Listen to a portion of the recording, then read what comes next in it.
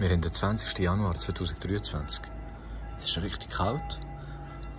Ich glaube, ja, der Sonne ist dann schon angenehm. Ich kann ein bisschen rauslaufen.